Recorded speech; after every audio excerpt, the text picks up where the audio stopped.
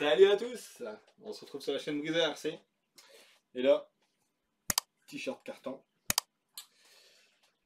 Je vais faire un peu de muscu là. Heureusement qu'il est léger ce t-shirt. Donc là, il y a un colis. 14 kilos. Donc euh, là, euh, ça va marcher les tiroirs. Heureusement que là, j'ai pas mal au dos.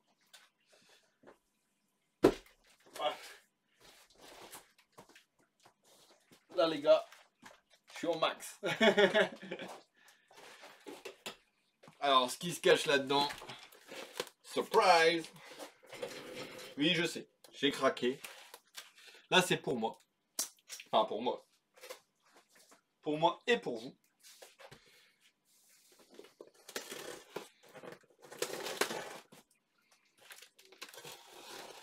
Je sais, je suis debout.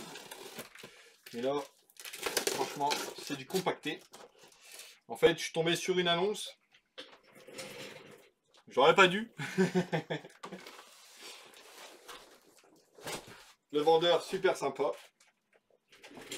Franchement, ça c'est cool.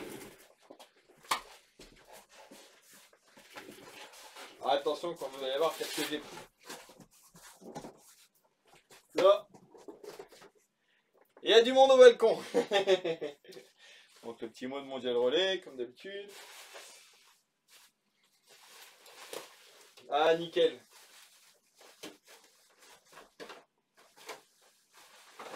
Donc j'avais demandé s'il avait des vieilles, une vieille carreau, justement, euh, qui pourrait encore servir.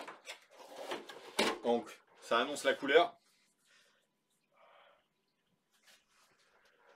Donc il a fait des petits trous d'aération. Je sais pas si ça a aidé beaucoup. C'est sur une carreau euh, style Ferrari. On reconnaît bien les feux euh, Ferrari derrière. elle peut encore servir. On va peut-être poser ça ailleurs parce que là, franchement, je crois ça va être un carnage. On a un pare-choc avant. On a. Oh la vache, il y en a partout. Là, il y en a vraiment partout, les gars.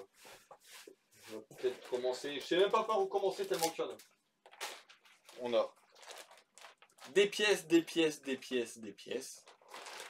Des pièces, des pièces. Inclus là, maman qu'il est lourd.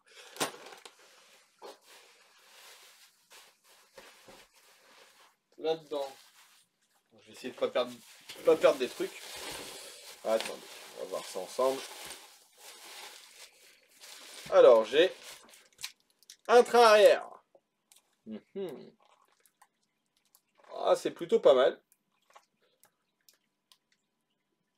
Franchement, la morteau fonctionne super bien. Et je crois que c'est le bon diamètre pour mettre mes cales que j'avais faites moi-même.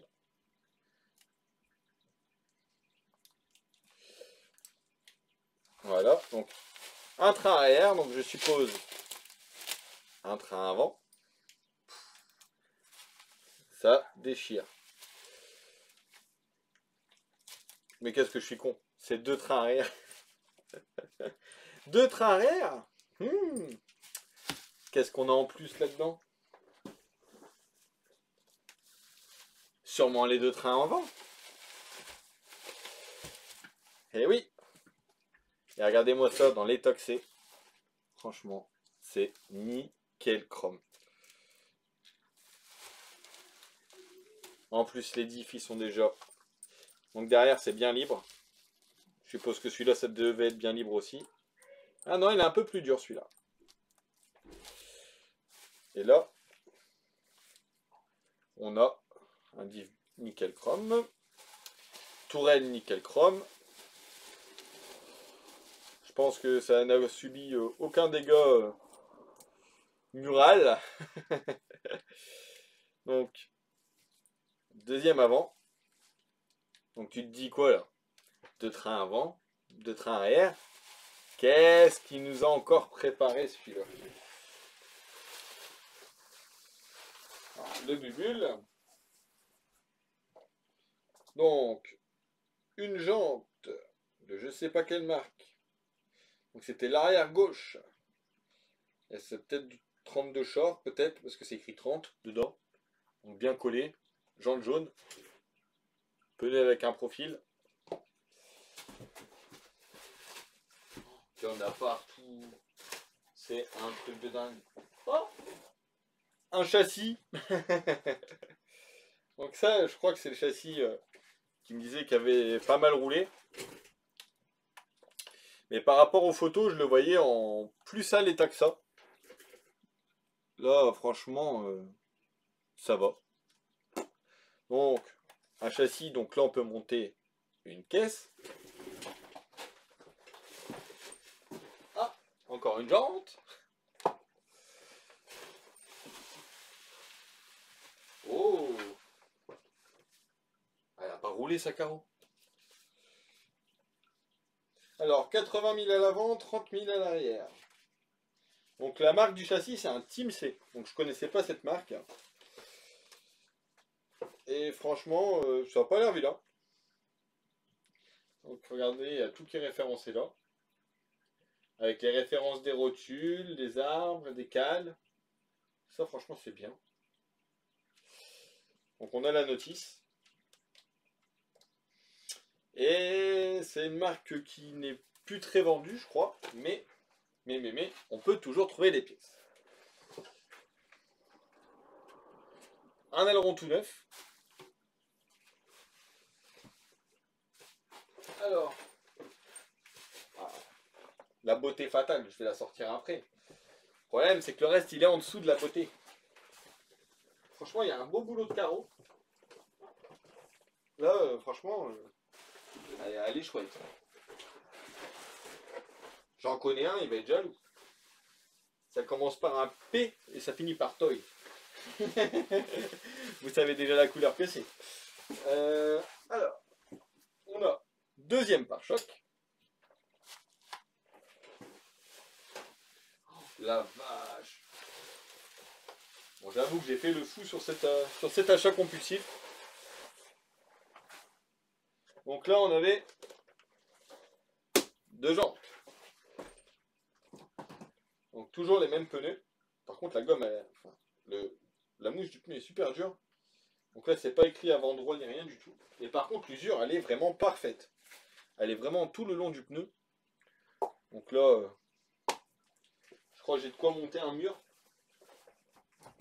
Donc là, c'est les pneus d'occasion qui m'a dit qu'ils avaient déjà roulé.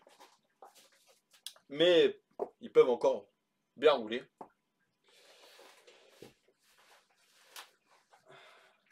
Oh, un diffuseur arrière. Ça, c'est cool.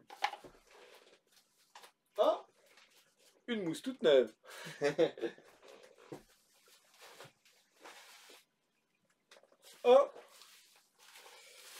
Un deuxième châssis. Et lui, il est tout neuf. Tout neuf, tout neuf. 0 km. Zéro pack.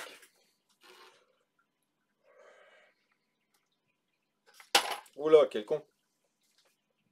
Hop. Donc deux châssis, là, il y a de quoi déjà faire deux caisses. Au cas où. Troisième châssis. Mais là, celui-là, il est quasi neuf. Donc en fait, il faut juste démonter ce qu'il y a sur celui-là et monter celui-là dessus. Après, ah, ça, ça doit être des GRP, je pense. Donc c'est des Q5 médium, je ne connais pas peuvent rouler aussi, mais la gomme là, elle est vachement dure. Donc ça, c'est les fameuses jantes d'occasion que je vous disais. Donc là, on en a même des noirs. ça, ça va finir sur la BM, je pense.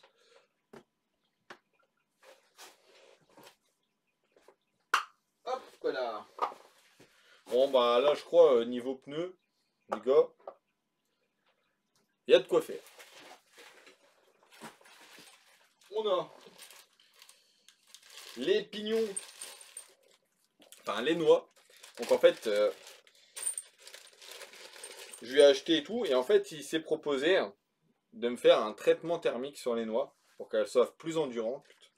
Du coup, comme c'est son boulot, du coup, il m'a fait un traitement thermique sur toutes les noix. Donc là, j'ai un lot de noix avec traitement thermique.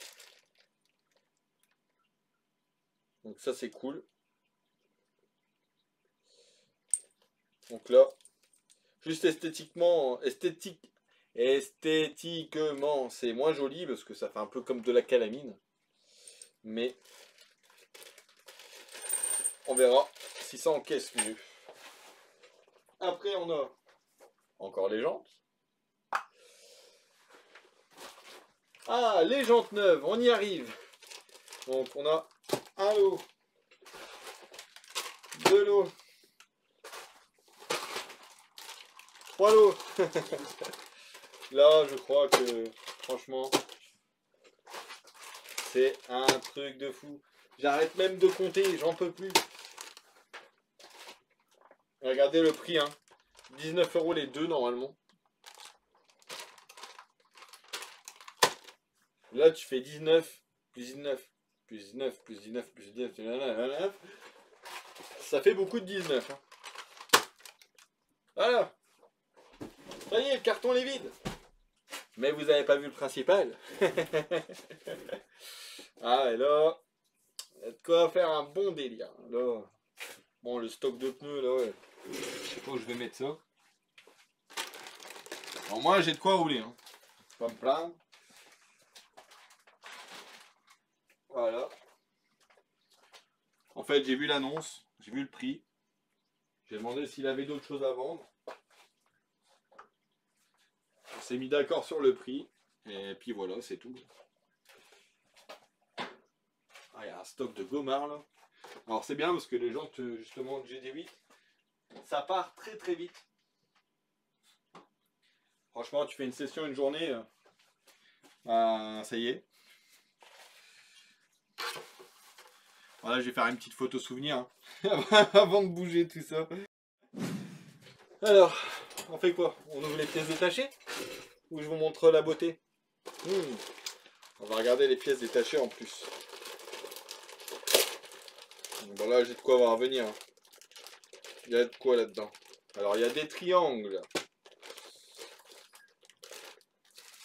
Il y a des chapes. attention, celui-là, il est ouvert. On a des petits tubes. Des noix. Encore des noix. Ce qui est bien, c'est qu'on a les références des pièces. Déjà, tout est, tout est sur le nom. Basher. Alors, dans le petit sac choum, qu'est-ce qu'on a? On a les portes fusées. Par contre, les roulements, ils ont l'air d'être assez gros là-dessus. Franchement, c'est pas mal. On a les portes fusées avec les étriers sur certains. Certains sont encore montés. Donc regardez. Donc là, euh, franchement, cardan. Cardan euh, Et c'est pas homocinétique, c'est l'autre. Euh, on va y arriver. CVD. Donc cellule de diff, hein, toute neuve. Deux fois. Des cellules encore. On a des amortos en plus. Ça se trouve, il y a moyen d'en monter carrément une quatrième. On a les couronnes plastiques, donc on a plusieurs types de couronnes. Il m'a même mis des pignons moteurs, donc là j'ai même euh, plein de tailles de pignons moteurs différentes. Ça c'est cool aussi d'en avoir. On a les écrous de jantes. Encore des portes fusées, cardan. Ça c'est c'est les étriers avant. On a des rondelles. La vache, c'est un truc de fou. Il y en a encore plus que sur les photos. Donc, euh, on pouvait commander ça sur teamcracing.net. Je sais pas si ça existe encore. Donc, on a des rondelles. Encore une cellule. Cale de train.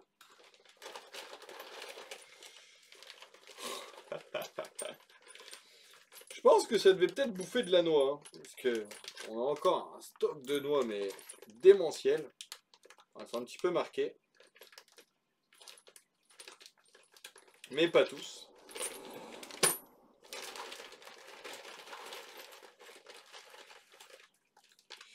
Des plots de carreaux.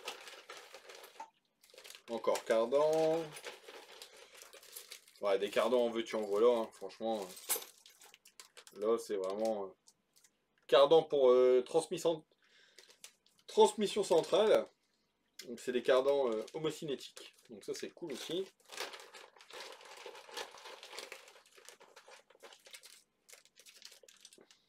Couronne de diff.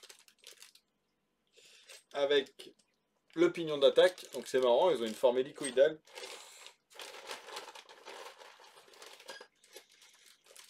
Encore des noix. Les joints du diff. Avec un petit palonnier, un petit Ackerman.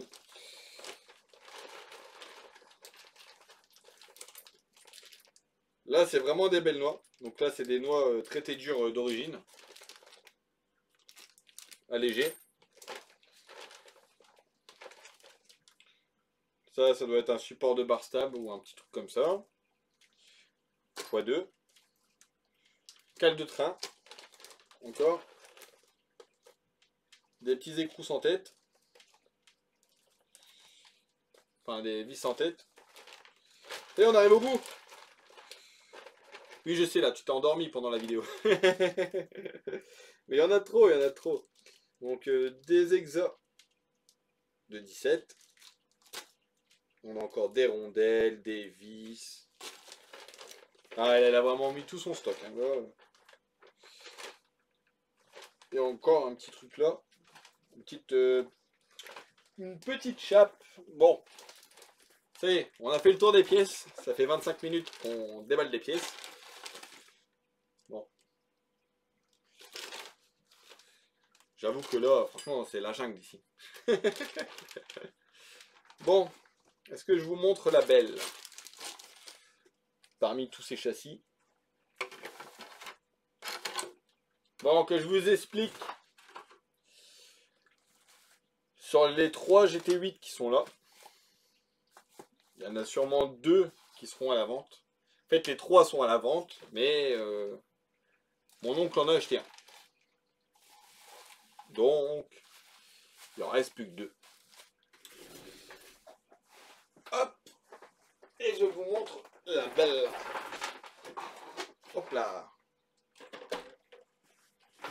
Regardez-moi ça. Eh oui le voilà le troisième châssis. Enfin, ou quatre. Je sais même plus. Pardon. Franchement, elle est jolie. Hein le mec, il a bien associé les couleurs et tout. Hein. C'est pas mal. Franchement, j'aime bien. Un chouette petit style. Et ouais, les mecs. Vous l'avez vu, vous l'avez pas pris. Alors moi, je l'ai pris.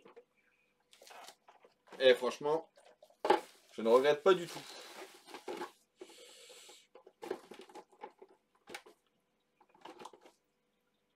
Elle est trop chouette.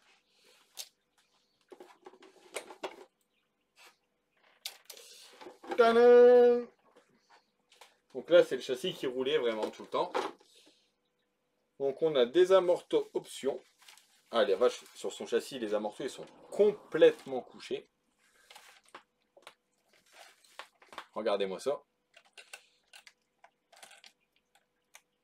Niveau des eh, franchement, au niveau usure des pneus et tout, franchement, elle est, c'est bien uniforme de ce côté-là. Franchement, je suis.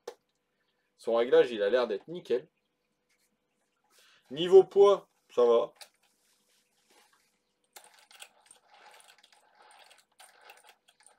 Bon, on a le cardan euh, CVD arrière qui est légèrement plié. Donc ça, faudra peut-être le redresser. Sinon, ça fonctionne. Devant, c'est nickel aussi. Diff arrière détendu.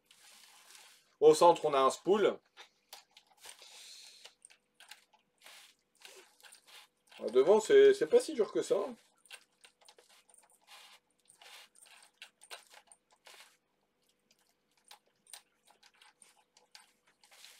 En tout cas, il y a de quoi s'éclater.